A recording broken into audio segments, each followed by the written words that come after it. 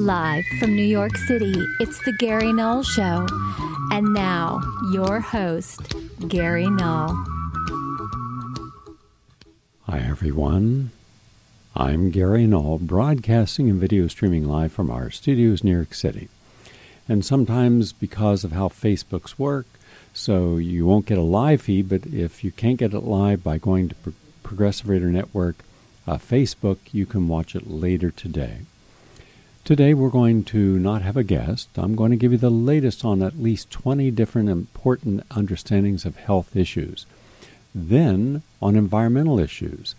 And tomorrow, you won't want to miss it because I'm having one of the three leading climate change experts in the world on this program. He is honest, he is unflinching.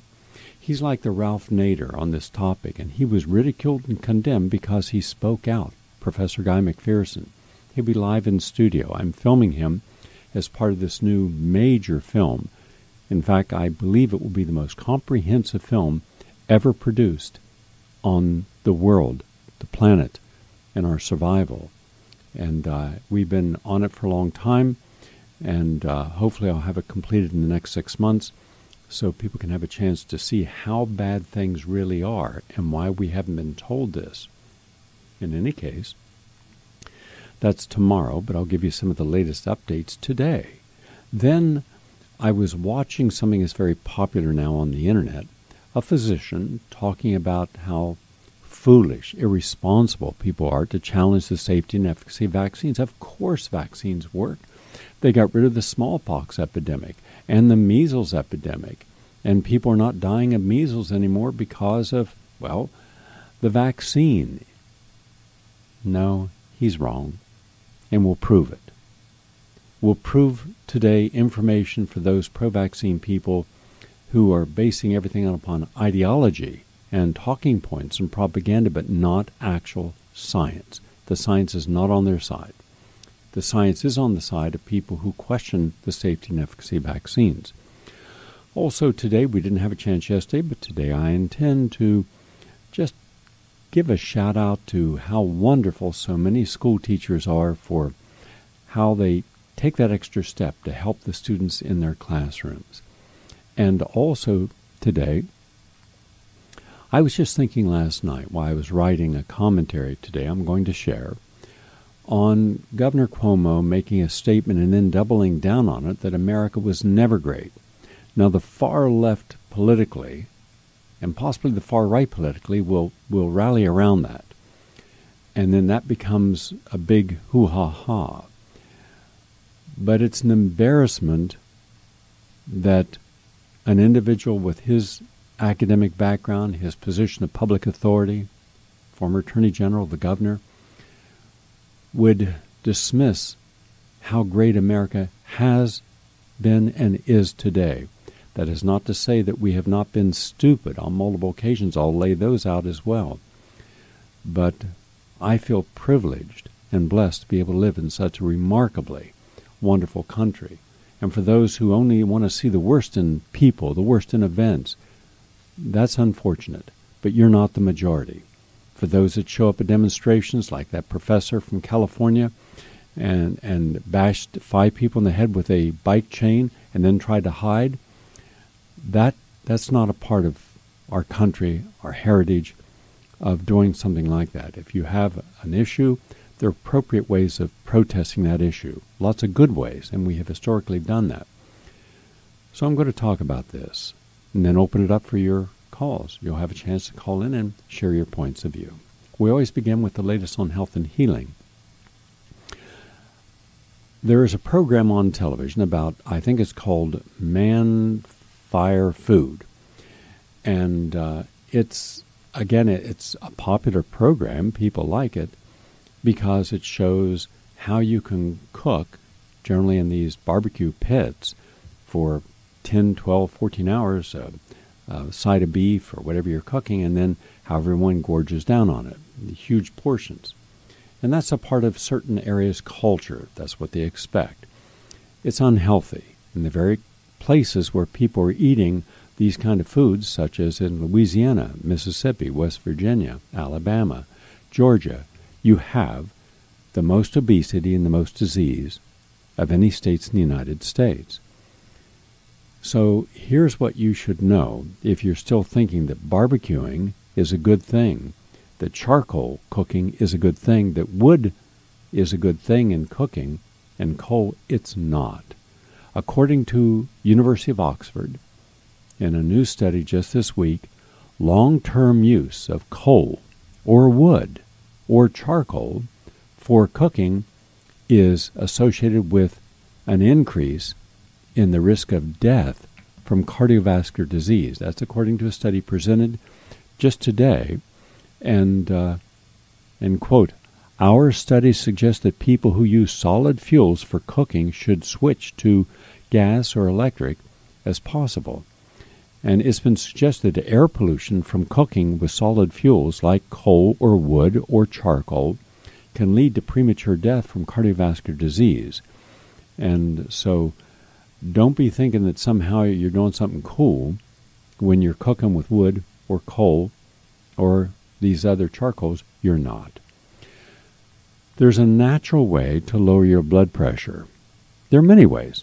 Eating garlic every day. In fact, you've heard me say that uh, garlic and onion a day keeps a stroke away. Both thin the blood and protect your heart. Well, drinking hibiscus, H I B I S C U S, tea, according to the University of Nigeria, will do the trick.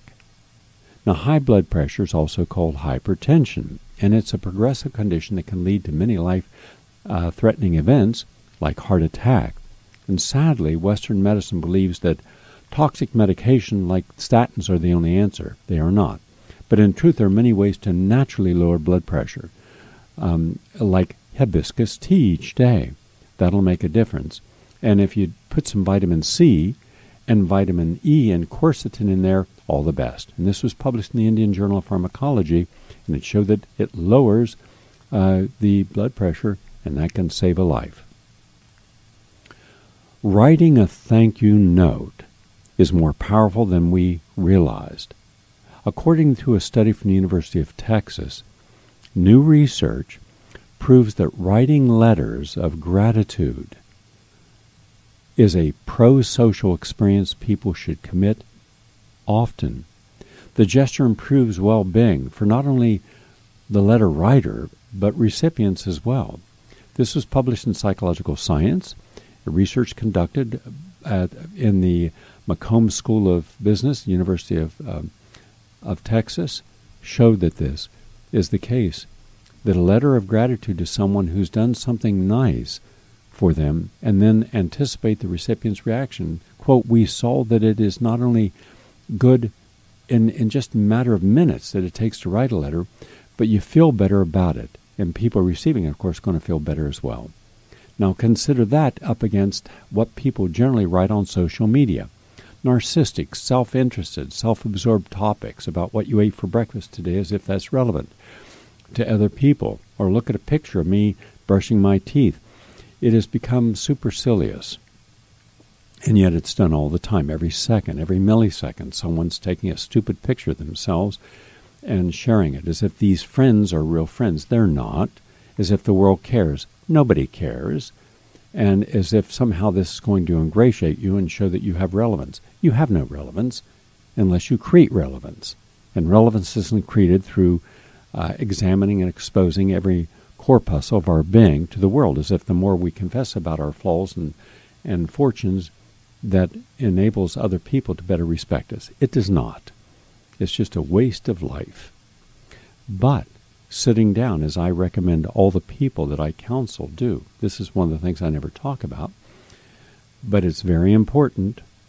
And even the people coming to the upcoming retreat, this is one of the things they'll be asked to do. Write a letter based upon how you've responded to people and what you've gotten away with that no one realized you got away with. Meaning you lied about something, or you cheated, or you stole, or whatever you did, you betrayed. Now write a letter to the people that you did this to. Now they may be dead, maybe someone from the past, maybe someone you don't even know where they're at. But it's important that you write it because you're you're learning a lesson about honoring the karma that you've created. The fact that we've gotten away with something doesn't mean that we've gotten away with anything, especially with the construct that what if everything in life has a silent witness? And therefore, think before you say something, think before you do something. Always ask yourself if what I'm about to say and what I'm about to do, can I live with this? Can I be feel good about this? If anyone knew this about me, would they still feel I'm okay? And it's that part of ourselves that we deny, that we deplore, that we hide from, and frequently overreact to other people. You see this all the time. In fact, last evening, um, we were interviewing people from Wikipedia.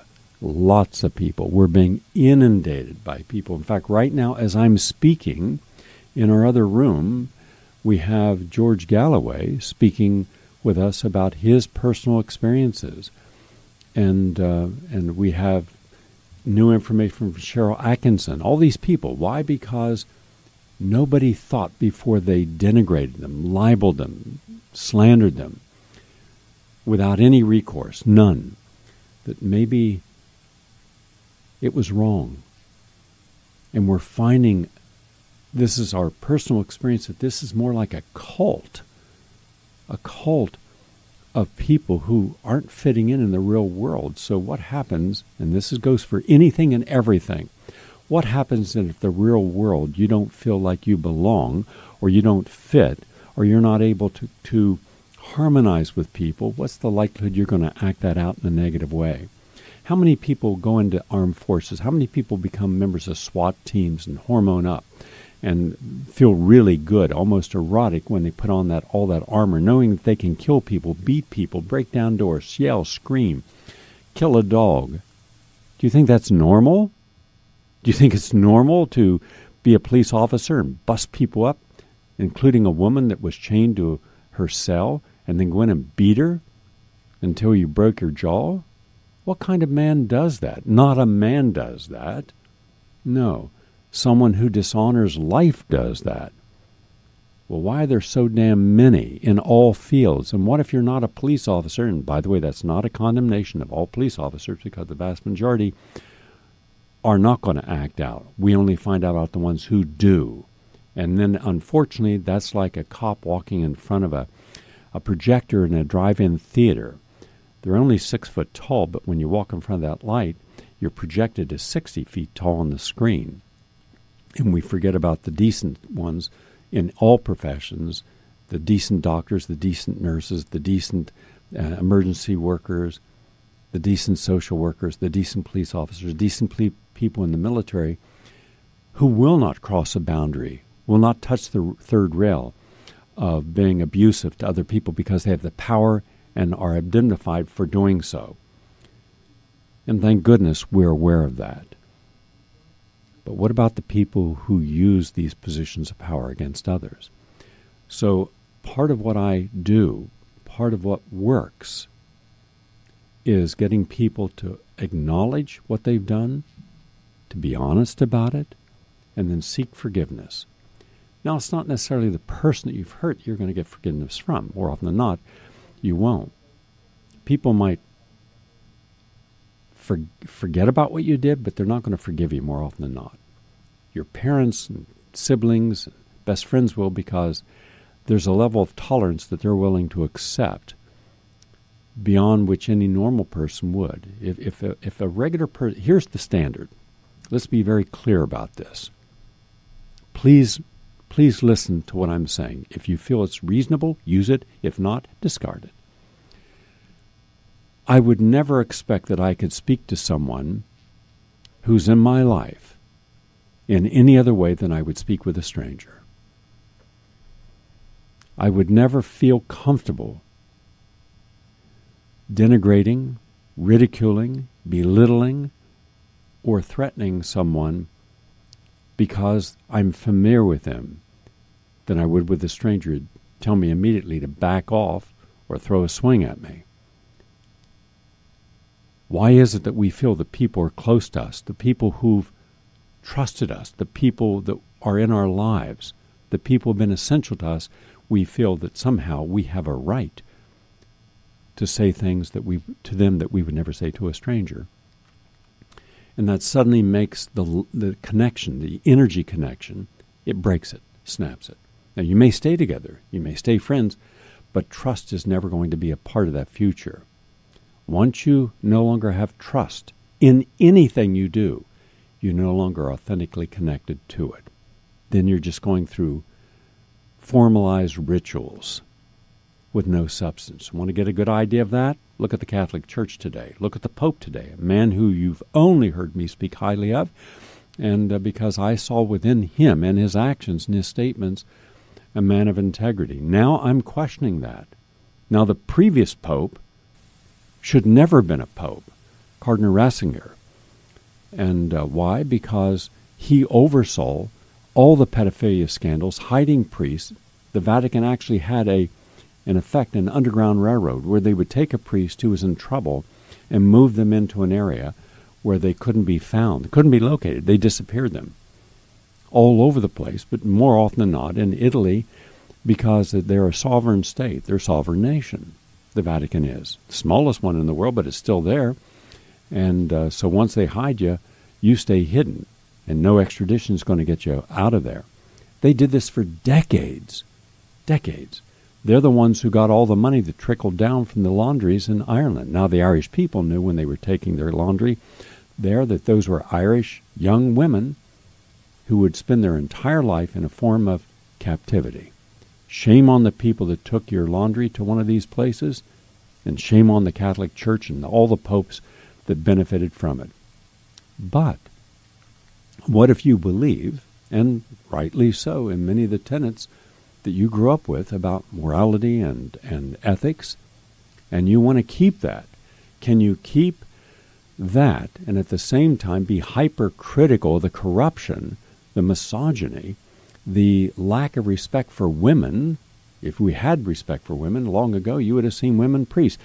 And nothing that's being done is based upon the actual original writings. You want to get into that discussion? I'll be happy to, because that's I know more about that than I do about nutrition. I just don't talk about it. It's one of my passions. It's all stupid. So I believe that today, because of this crisis of covering up for some of the uh, bishops and cardinals, that there should be self examination and there should be critical analysis. And without someone having the opportunity to hide behind their religious position and authority. I believe that all authority figures in all religions, in all political systems, in all social systems should be held to the same standards as the average person. There shouldn't be two systems of judging someone. There should be one. There should be one system where we think before we judge someone what is it like to be on the other side? And how better, more constructively, can we create a dialogue with our anger, our resentment, our disappointment to see things that change in a more remarkable way. Just some thoughts. That's why those letters are so important. And I spent about a three hour lecture just on the topic of what the letter represents at an energy level. Forget anything else, forget a psychological level. I'm talking about an energy level to start to heal things you've done in the past and understand the power of deception. Remember, Think on this no one ever does anything bad unless there's a big benefit to it, including, by the way, many of the things we have done with ourselves with disease. Hard to imagine? Now, they're diseases that have nothing to do with free will. Circumstances, yes. But what about those disease states where we gain something from our disease and therefore identify with that gain instead of what it means to be free of a disease and therefore free to make better choices. Again, I'm just throwing out some topics that you could write about in your letter of forgiveness because you got to forgive yourself for what you've done to other people. So they, and then if they're not around, read the letter, honor the energy, then burn it. From, I'd like some feedback if people have done that, how it's worked for them, that's also part of the many of the sacred ceremonies of the uh, sweat lodges. From Green Med Info, that topical black seed oil you've heard me talk about, that's good for everything. It beats Tylenol for pain relief in osteoarthritis. Now, considering how many people have osteoarthritis, that's a big deal. So that tiny black seed strikes again. Even orally administered Tylenol can't compete with the topical application for all your outside injuries where you have pain and swelling. It has enormous capacity to reduce swelling and turn off pain. Quote, this study showed that topical use of Nigella, that's uh, sativa oil, that's your black seed oil, can be more effective in reducing knee pain in elderly patients than uh, Tylenol, which is typically used as as a safe supplement for elderly. I don't believe it's safe, but black seed oil is. And finally, beetroot that comes from the beet has blood pressure benefits for pregnant women. This is according to University of Manchester, which is in the United Kingdom, and as well as the Karolinska Institute, which is in Sweden. So if you have high blood pressure, try having a glass of beet juice or eating some beets. It can make a big difference, especially if you're uh, pregnant. That's the latest on health and healing broadcasting and video streaming live from my studio in New York City. I'm Gary Null. We're going to take a brief break and come right back. Please stay with us.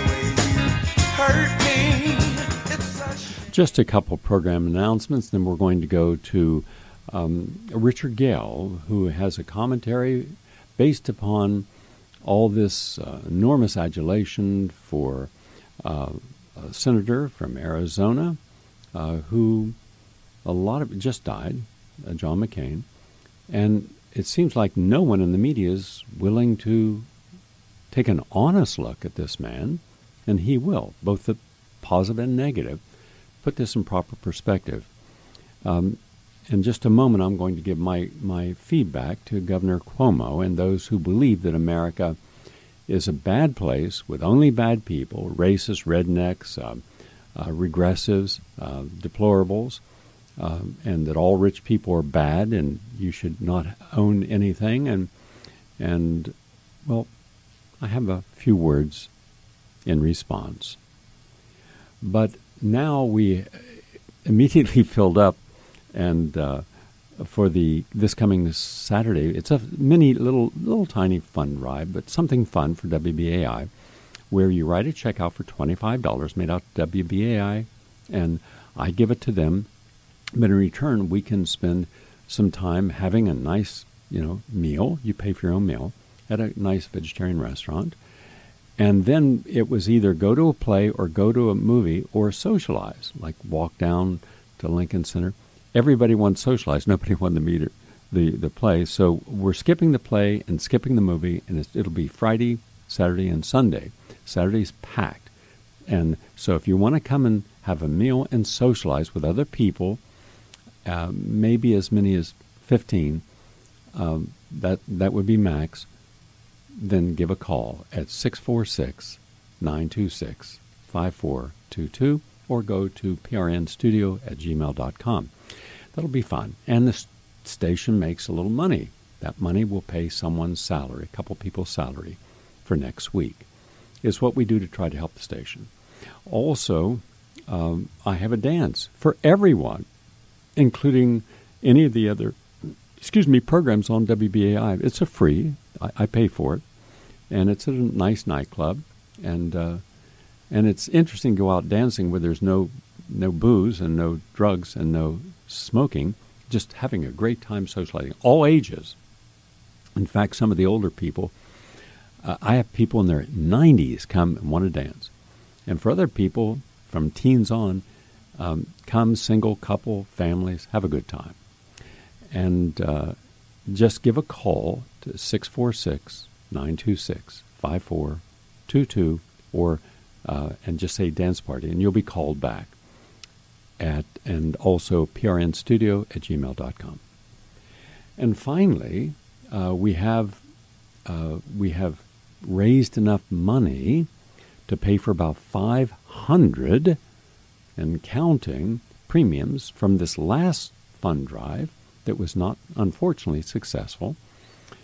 And we're doing another one the first week of October full, sorry, and the second week we only have three places left. If you'd like to join me and a wonderful group of people, just give a call. You'll be calling Luann. I don't have her number in front of me. We'll get her number so you can call her. And and uh, if you've never been to a retreat, and everyone's different. I, I, I do all brand. I'm, I'm doing a whole new lecture series. It's going to be so much fun. I've come up with a whole new construct of understanding human nature, brand new. In fact, I'm, I'm having my film crew come down. It's the last day of our uh, film shoot when we're on the road, and we're going to drive there from New Orleans, where we're shooting in the lower ninth ward. And then I'm going to set up so we can actually uh, film this because I'm. If if you read the book I wrote about eight years ago called Living in the Moment Prescription for the Souls, this will be the sequel to it. This takes you to a whole nother level of understanding human nature. And every single night, I'll be doing a different lecture. And the daytime, I do little mini lectures. Anyhow, uh, so that's one of the things that makes it fun. But understanding how to look at life differently, how to laugh a lot, because we laugh at everything all the time, and to learn and to be relaxed and de stressed in a wonderful, beautiful environment with a great staff the staff comes from all over the United States. And these are all professionals doctors, lawyers, judges, architects, all kinds of people come in to help you. Now, they don't tell you what they do, and I ask them, don't tell people about your life or what you do. And, uh, but they're, the, these are these are wonderful people meeting other people who are coming for each for a different reason. So here's Luann's number if you'd like to come. 903 881 7008. 903 881 7008. And what I don't do, so you're very clear on this, I don't diagnose or treat any disease. I never have, I never will. Out of, I'm guessing, 72,000 people I've counseled in my career, I've never once talked about disease. If you came to see me with terminal cancer, the word cancer will never come up. It's kind of unusual because everyone starts with the disease and its symptoms, and I don't. I have a completely different way of manifesting wellness in people. And if you wonder, does it work? Well, how about this? How about taking seven people with terminal and medically irreversible conditions that nothing they had done in their medical treatment worked, and after a week to two weeks, they were able to go out one morning without knowing what they were going to do and take a walk that lasted 27 to 30 miles and they left without their conditions, and today they still don't have those conditions according to their follow up medical exams. I don't talk about what happens, I don't explain it, I never will explain it. Just accept it as a gift. A lot of wonderful things happen at a retreat.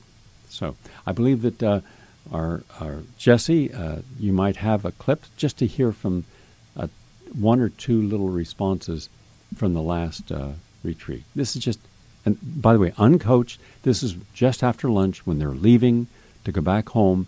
I ask them to go over the telephone and just tell people very briefly what they experienced. My name is Carol. I'm here at the retreat.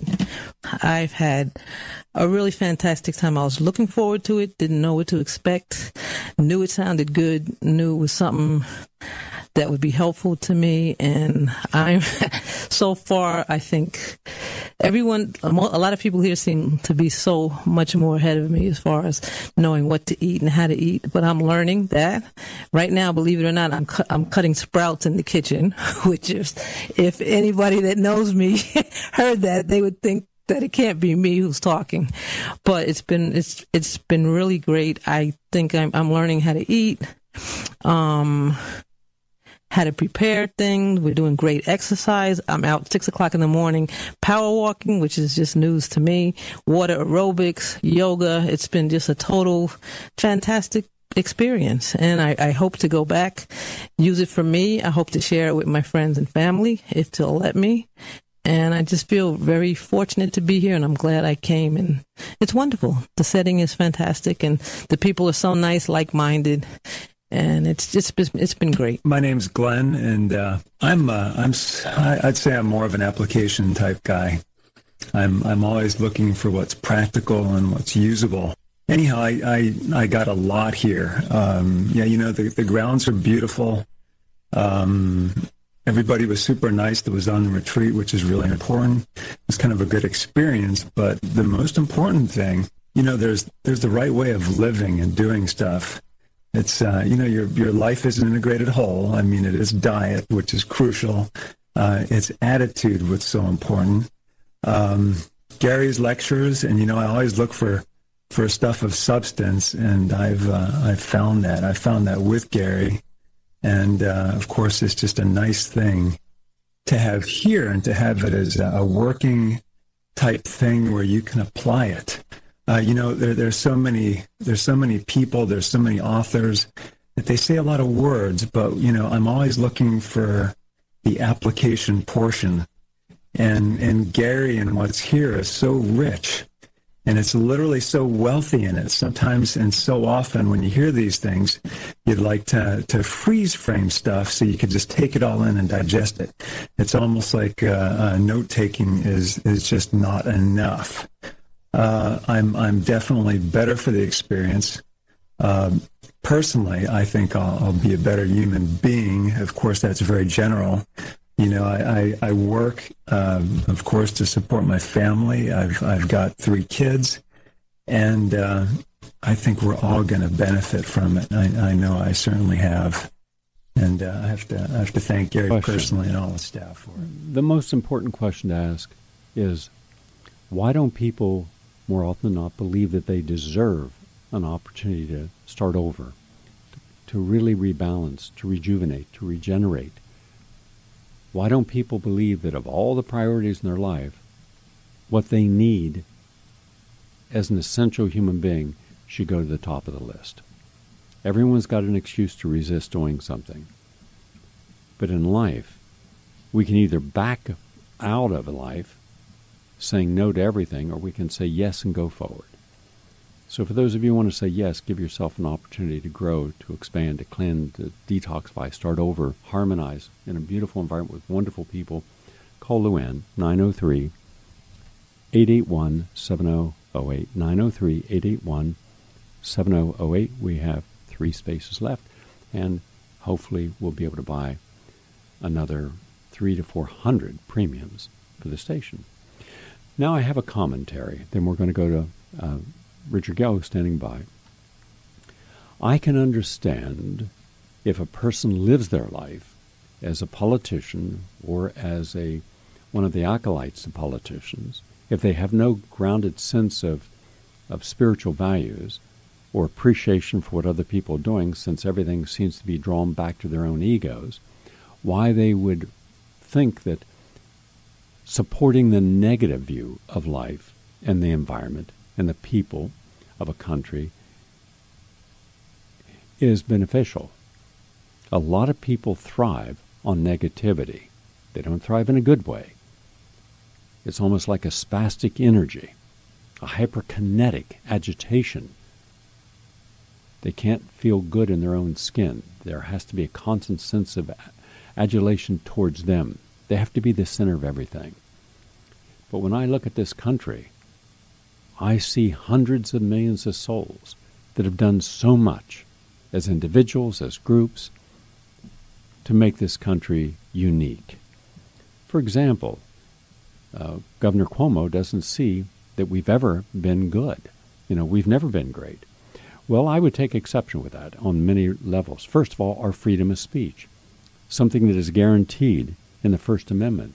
Many countries of the world historically you have not had that freedom of speech unless you were close to those in power. But if you were the average person or in many of the other classes, no, that freedom of speech, if it went against the prevailing view, could put you in trouble, as it does today. But we've had a lot of opportunity in our, our society to say what's on our minds. the right of revolution. Remember, the signers of the Declaration of Independence were not unanimous. There were many people in the colonies and many of the representatives of those uh, colony people who were wanting to support the crown, didn't want to see us separate from Great Britain. But there was enough people who said that we must be free. And if that freedom requires us to fight, we will fight. So our ability to understand that one of our freedoms is that to rebel is important. Of course, reasonable people always want to see if there's not diplomacy uh, before you have to fight. Even if you have the ability to fight.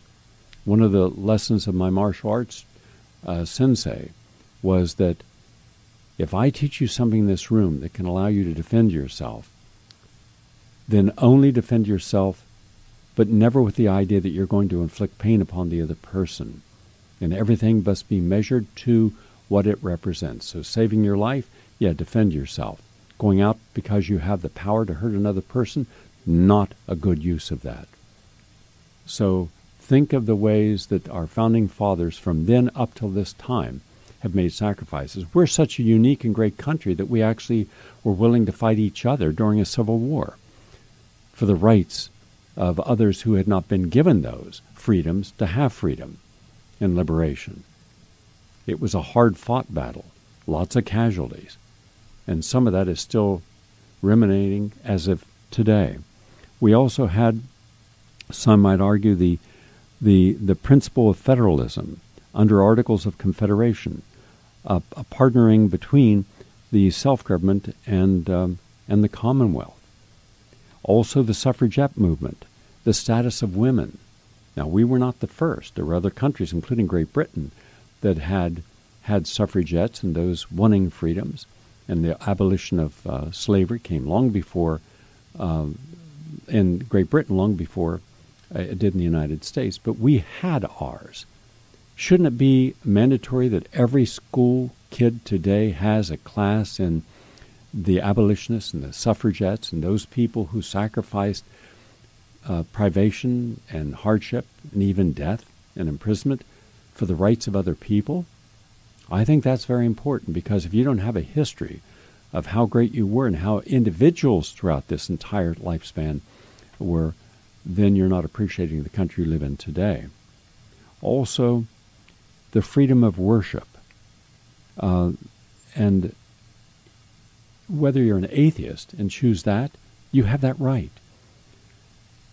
I believe in the right of every person to believe in their religious faith. If you want to be Jewish or Islamic or Christian, those are your rights. And even if you're a Christian, what and a Protestant, which one are you? Lutheran, Presbyterian, Episcopalian, Baptist? These are your rights. In other countries today, in China, they don't have that right. And for 77 years in Russia, they didn't have that right. We do that also makes a country great and its people great. Also, we have we are a melting pot. We have our uniqueness of our cultures, but we also agree that we have to work together, and we have historically. That's part of our greatness. The concept of public schools, although this could be accredited to the Napoleon uh, philosophy due to his advisor, uh, who was uh, who was very famous in as a classical composer, Mendelssohn, we have to understand that we have public education. Now it's it's in chaos today, but that's not because of the concept. It's because of the privatization and, and heavy loading in administrators instead of teachers, instead of putting the emphasis upon the student and curriculums and the school and the teacher we're putting it into the politics of privatization and the charter schools, and and that's the wrong place to put it. We're also doing that at, at the college level as well. But we have had a lot of people gain a step up in life and have a better quality of life because they had that education. Also, aside from the Native Americans, we have uh, we have a deep spiritual tradition, notably the Transcendentalist, uh, the Emerson and Thoreau, and uh, Margaret Fuller, Walt Whitman, and uh, William William Henning, uh, Henry Channing and Emily Dickinson. Um, now, I say they are important because of their deep spiritual tradition. Now, the Native Americans had deep spiritual traditions for thousands of years before anyone came. But that also is what was unique, is you could have an opportunity to have as deep a spiritual connection to life and to the people as you chose to. And it's from these people that some of the greatest works came and some of the direction that we're going in today is because of them. Think of Hemingway and Faulkner and Arthur Miller and Edgar Allan Poe and Tennessee Williams and one of my favorites, if I consider the most important author uh, in American history, was Mark Twain. By the way, Mark Twain wasn't his real name. Mark is a mark in uh, navigational terms, and Twain, we are at between two places where there's calm water and and uh, and strong water. But just go back and if you haven't read it, for goodness sakes, read uh, some of his important work. Uh, now, most people have read Tom Sawyer, but it was Huckleberry Finn that was one of the single most important books ever written, and it changed literature. Up until that po- point, most of the people who were writers were writing based upon what they had learned from classical or traditional um, stylists from England and France. Not not Mark Twain. He wrote his words uh, for uh, for this young young boy, an illiterate who he'd be called something like a rugrat today. He he was he was cast out, and yet here he was with this runaway slave on a bar a little raft going down the Mississippi, not knowing what each day would uh, foretold, but he found friendship. But he was the first person to recognize his own prejudice, and he began to understand what it was to be this other person.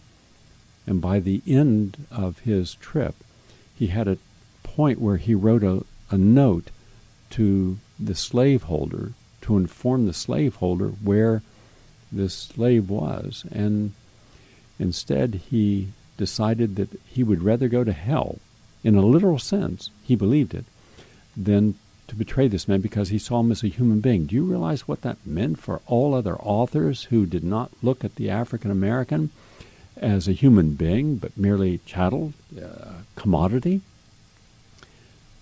Well, he brought a humanness. He brought the spiritual to that recognition. And originally, a lot of libraries refused to cover it uh, because they didn't like the raw, guttural language that Mark Twain used. Well, that book changed everyone after that. Quite simply, that has to be in the pantheon of, of the of American literature. That's that's that in its own right is as important as the the Iliad was historically. Yet, how many young people today can say they've read it? How many millennials have read it, and what know its meaning? and how that can be used to show respect for other people and not just objectify them through identity politics. So when you look at Mark Twain, the original American badass, and he was a badass, and the others that came after him, and look at post World War II, to avoid another depression, even the corporate mogul, Mongols or moguls engaged in building communities and uh, there was a massive amount of philanthropy schools, libraries, towns, places of worship, a whole new infrastructure. Between 1945 and 1975, the middle class, the working class, had the first opportunity in American history to actually have a quality of life and meaning without debt. And they did. Now, also, you talk about being great. How about this?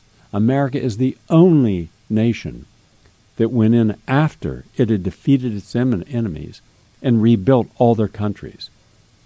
We rebuilt not just Germany, we helped with Poland and Czechoslovakia and France and Italy and Japan. And that allowed them to become, well, Japan became the second most powerful economic power in the world. It's now third behind China. But think of what that meant that we helped through the Marshall Plan all these other people who have been our enemies. Historically, if you defeated someone, you took their resources, you enslaved their people, you destroyed their leaders. We didn't. That takes great minds doing great things, and I'm proud of that. Also, look at the folk music uh, as an artistic form of protest and motivation. Woody Guthrie, uh, Phil Ochs, Pete Seeger, Bob Dylan, and look at the blues singers, the Delta and the Chicago blues, that continues to influence music today, and the course of jazz, John Coltrane, and uh, all the others who contributed something unique. That's greatness.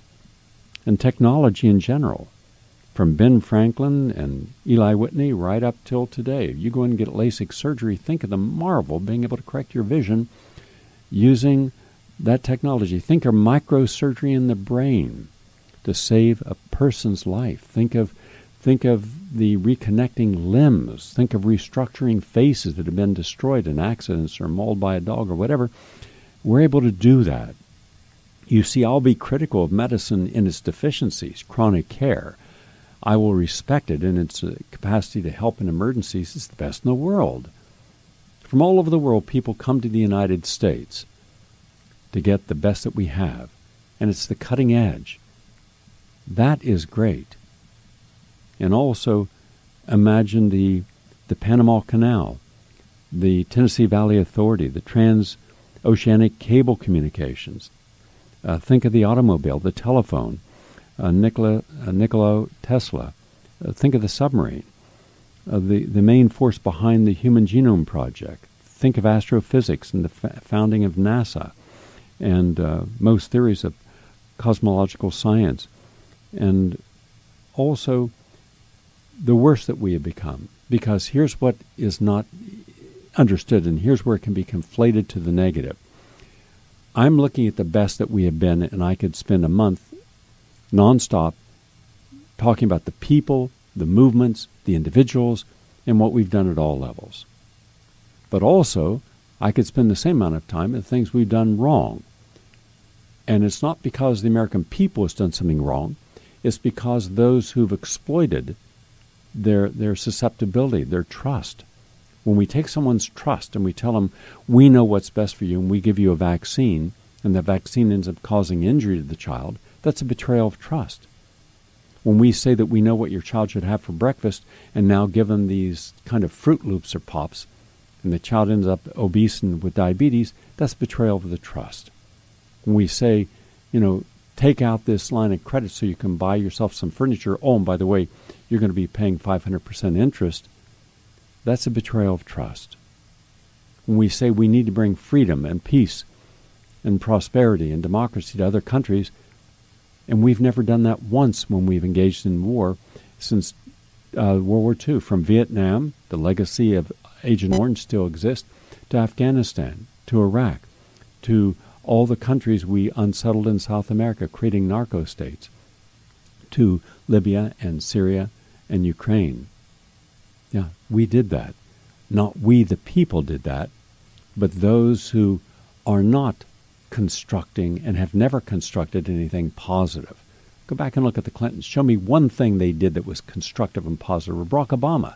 You're going to say, you know, Obamacare? No, Obamacare wasn't about a universal health care that he originally promised. That was written by the insurance industry. That was a betrayal of our trust. And then we were sold it. You always know that something's bad in the offering when there's a heavy emphasis upon how it's sold to us.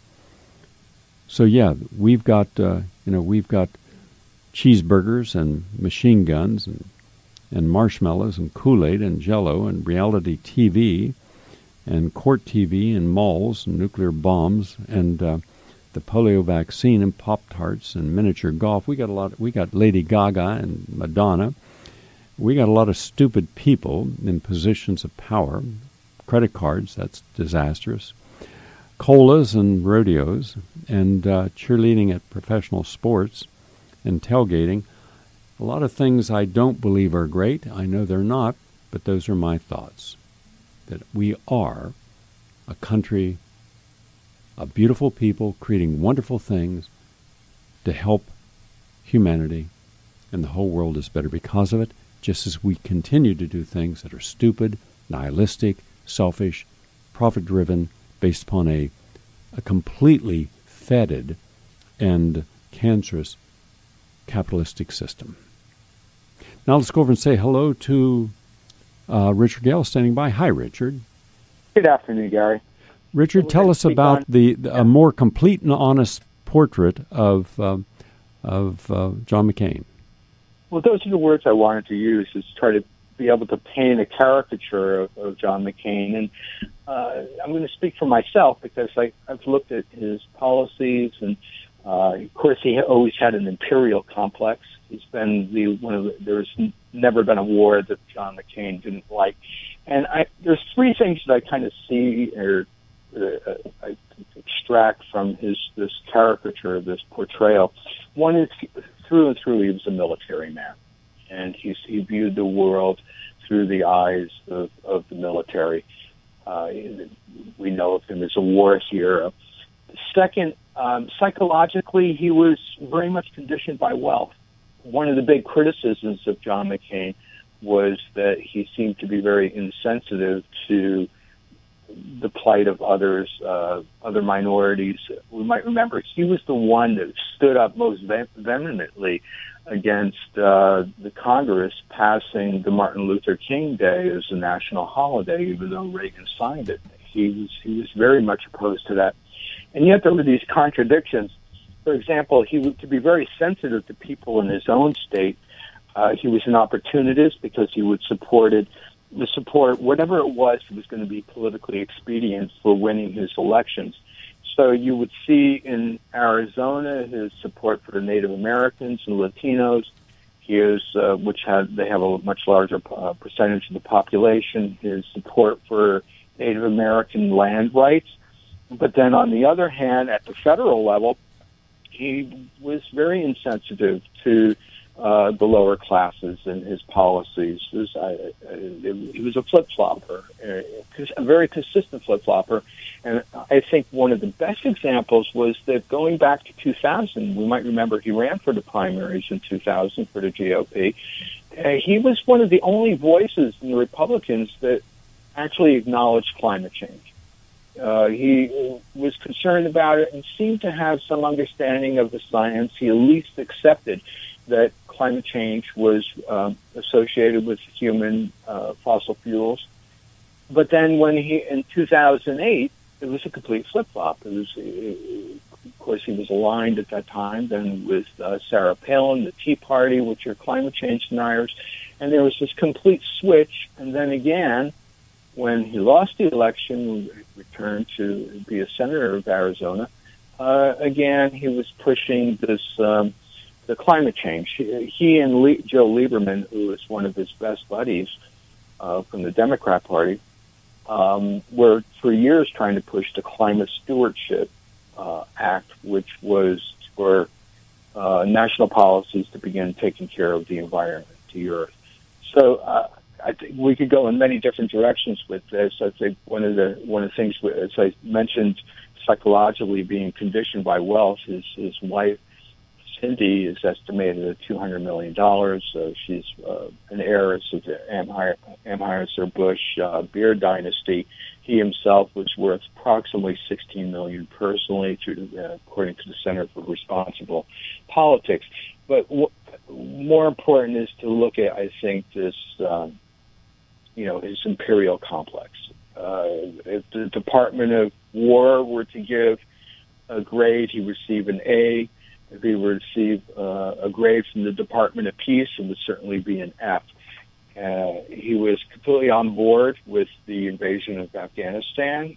Um, you know, he was also a close friend of, of, of Senator Lindsey Graham, another itinerant war hawk, uh, and he was served as uh, Philip, Bland, Philip Gramm was uh, his economic advisor during his campaign. He supported the Contras. He was one of the most vocal voices uh, again, opposing the U.S. Uh, government cutting off aid to the Contras. He himself donated money to the Nicaraguan Contras. Contras. Syria, he always hated Bashar. Of Syria, uh, started calling for the arming uh, of the Free Syrian Army, which at that time was all comprised of a network of Sunni fundamentalist groups uh, Libya, he supported NATO bombing. Uh, at first, before everything, he actually had a pretty good relationship in, in view of, of Gaddafi. And then it was, it was again, this was a major flip flop. He was always a champion of the war on terror in African nations, consistently calling for the U.S. military intervention in conflict zones, notably Mali. Uh, he wanted to deploy special forces to fight Boko Haram in, in Nigeria and Sudan, where both uh, McCain and his wife had invested, uh, were heavily invested in, in Sudan industries for quite a while. Iran is an interesting one with him because we might remember his famous statement, bomb, bomb, bomb Iran from the Beach Boys song. But very early on, he was, um, he was a supporter of the MEK, which is the, um, the this which was designated by the State Department as a terrorist organization, is the People's Mujahideen of Iran, better known as MEK. And This is the same group today that the State Department and the Department of Defense would be propping up to kind of take over uh, take over the uh, Iran in the event of a, of a collapse of the regime. Uh, so he supported them for staging the guerrilla uh, terror war against the Islamic Republic. And uh, he even was the one responsible for bringing MEK terrorists for training uh, in Nevada. And that, that was something I never knew. I never knew his, his activities that he had. He's defended Netanyahu, uh, uh, attacks on Gaza in 2015. He was always was very wishy-washy uh, about the two-state solution, uh, but he always courted support of groups who opposed Palestinian nation. So this is another one of these kind of gray areas with him. Uh, Bosnia, Kosovo, um, he's backed all the violent radicals in the Balkans as well. Uh, he he backed a, group called the um, the Takfiri movements. Uh, this is related to Kosovo Liberation Army, which was a genocidal jihadist organization that was tied to Al Qaeda. Ukraine. There's the famous pictures of him, photos, ops when he visited Ukraine with Nazis, neo Nazis. It was standing lot, standing alongside the Nazis, right, and especially the opposition leader Tyahnybok. Uh, who's the co-founder of the fascist uh, social R- Richard, National Party? If you could just give us a final summary, because we're running out of time. Well, I think uh, we the best summary I think we could really give is that uh, McCain is a product of of imperial overreach. Uh, okay, as was his father, who was an admiral, and his father, which is an admiral. father, and he he never left the Cold War. Okay, good. And, that's a good uh, summary. You know, I think that's I think that would kind of summarize him. Good. Okay. And tomorrow I'm going to play a clip from someone who remembers what he was really like uh, when he was a prisoner of war and what he was like on a ship where over 100 people yeah. died in a fire from because McCain's recklessness in, in uh, landing a jet. There's a whole lot of the story that we still have to uh, look at, and we're going to do that tomorrow. Thank you very much, Richard. I appreciate okay. sharing that. Okay, Gary. Bye-bye. I'm Gary Null. Thank you all for watching. Look forward to sharing more tomorrow. Have a nice day.